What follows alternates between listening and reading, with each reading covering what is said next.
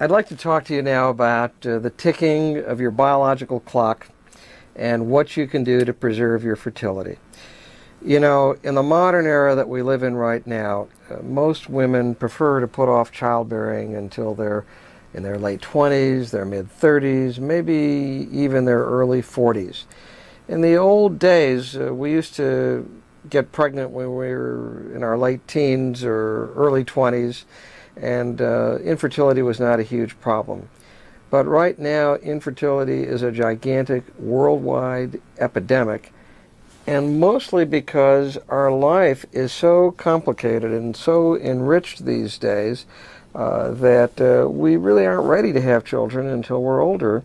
And by then, we have to worry about our biological clock ticking away. And will we be able to have children in our later years when we want children in our late 20s or, or in our 30s? What, what can we do to protect ourselves from becoming part of the infertility statistic that's just rampant worldwide? So I'm going to show you, you know, a series of slides and images and even some videos to talk about this because you can solve this problem. You, you can preserve your fertility and uh, save your uh, fertility for a much later date. So first, let me let me tell you about the infertility epidemic, and uh, it, it's worldwide, uh, almost in every developed or developing country, in U.S., in Europe, China, India, all over the world, the number one reason for going to see a doctor for a new doctor visit is infertility. Not heart disease or diabetes or lung disease, but simply infertility. It's just absolutely incredible. And this has all occurred in the last 40 years. In fact, about 25% of all women of childbearing age who currently want to have a child are infertile. So, in fact, I'll, I'll, quote here from an article I just wrote. The real reason for the anticipated insolvency of Social Security in the United States is that although people are living to an older age, many are not having children. So, infertility is a raging epidemic that is not only a threat to uh, individuals who want to have children, but it's a threat to the well being of our entire society not just to those uh, couples that desperately want to have children.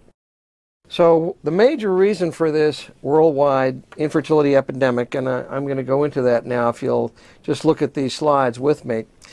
Uh, let's look at what the incidence of infertility is according to the age of the wife. Now, in her early 20s, about 1% of women are infertile. Uh, for teenagers, it's even less than 1%.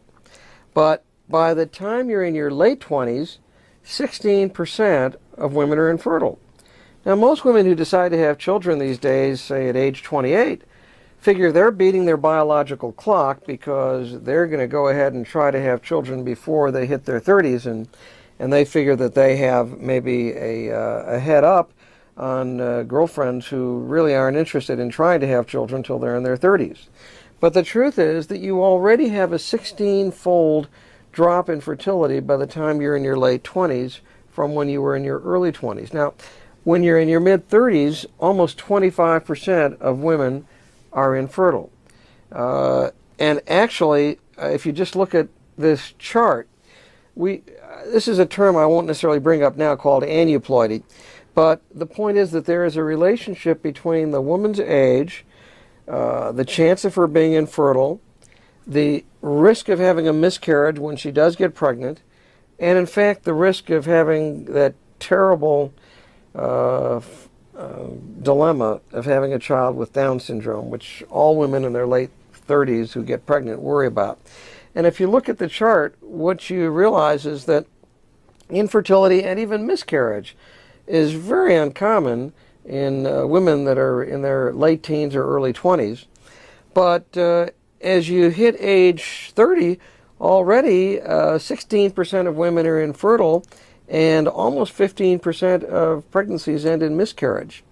And then by the time you're 40, about 30% of pregnancies end in miscarriage, and over 50% of women by age 40 are infertile. And then Down syndrome, that's trisomy 21. uh, mental retardation problem. Uh, we begin to worry about that at age 35, but it's only about, say, one out of 500, but then it goes up so that by the time you're age 45, if you do get pregnant and deliver, there's a 6% chance of that child having Down syndrome. All these phenomena that increase with age are related to the fact that your eggs are getting older as you get older. So, what about if we uh, do IVF and we put them through treatment? Even so, you realize that the pregnancy rate goes down even with in vitro fertilization the older you get. And uh, so, even if you're able to afford to have in vitro fertilization when you're in your mid 30s or late 30s, by that time, your chance of pregnancy, even with in vitro fertilization, is somewhat lower than when you were younger, say in your early 20s or mid 20s. And the risk of miscarriage goes up as you get older. And all of these graphs are related to changes in the chromosomes of your eggs as you get older. So let me explain this uh, a little more clearly. But, but of course, first, let me preface it by saying we have a solution to this problem. So I, I'm painting a dire picture, but I don't want you to be frightened by this picture because we have a solution, a fantastic solution to the problem. But first, I want to make you aware of the problem. So, by age 40, about 60% of women are infertile, and by age 43, it would be a rare woman who is still fertile. And this dramatic drop off in fertility with just moderate increases in age are caused by the aging of the woman's eggs. Now, women would have no difficulty getting pregnant and having children in their 40s or 50s, except simply for the fact that their eggs are older, or they may have even run out of eggs completely. So let me explain that. A woman is normally born with about 2 million eggs, and she's not going to make any more eggs. And by the time she's a teenager, she has about 400,000 eggs left in her ovaries. Now, a thousand eggs die every month, inexorably. There's nothing you can do to stop that. Taking birth control pills doesn't slow that down, uh, and even taking fertility pills doesn't speed it up. In other words, there is a hormone independent death of a thousand eggs every month, or 30 eggs every day that you can't do anything about. It's just inexorable. You can't help it. So about 13,000 eggs a year die, and you get to ovulate, uh, say, about 400 eggs in your lifetime. Uh, and uh, by the time you're in your 40s, you've run out of fertile eggs. So those 400,000 eggs that you had as a teenager are usually depleted by your late 30s or early 40s. And about 10 years later, after you've lost your fertility, that's when you go through menopause.